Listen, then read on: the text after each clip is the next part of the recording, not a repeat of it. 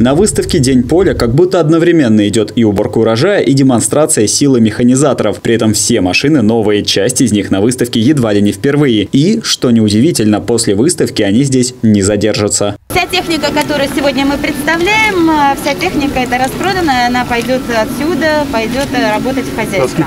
На дне поля покупателям предоставляют и скидку на технику, и продают в рассрочку. Сама выставка «Форум» уже давно стала эффективной площадкой для продвижения инновационных проектов. Здесь представлены лучшие практики, новинки технологий, то, за счет чего рязанские аграрии добиваются сверхвысоких результатов. Как известно, в прошлом году по урожайности Рязань стала лидером в Центральном федеральном округе. Если такой темп удастся сохранить, говорит Николай Любимов, то есть шансы преуспеть и в этом. Один из наших приоритетов в сфере АПК – возвращение в сельхозоборот заброшенных земель.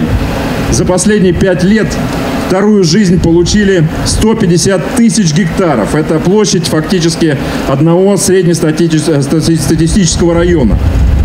Но большой урожай мало вырастить, его надо еще и сохранить. Поэтому самое серьезное внимание мы уделяем вопросам хранения.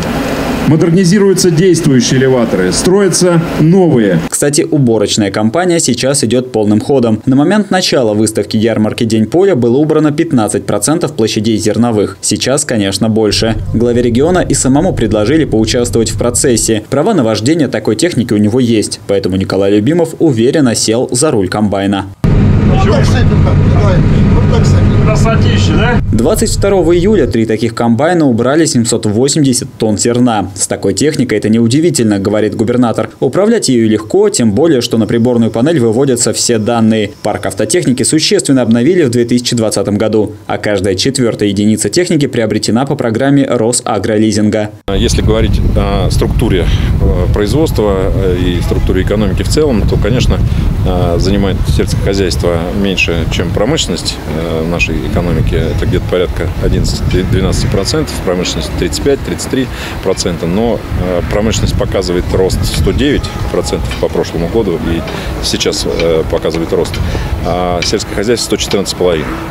Есть явно драйвер. Поэтому мы очень большую надежду возлагаем на развитие нашего сельского хозяйства, наших э, аграриев, поддерживаем, будем поддерживать, продолжать. И это по-прежнему будет, я уверен, нашей сильной стороной. В числе посетителей выставки форума были и руководители научно-исследовательских учреждений, руководители и специалисты сельскохозяйственных предприятий, фермеры, ученые из регионов России и стран ближнего зарубежья, а также дилеры иностранных компаний, выпускающих сельхозтехнику. Тезисы губернатора они поддержали единогласно. Валерий Седов, Станислав Кудряшов, телекомпания «Город».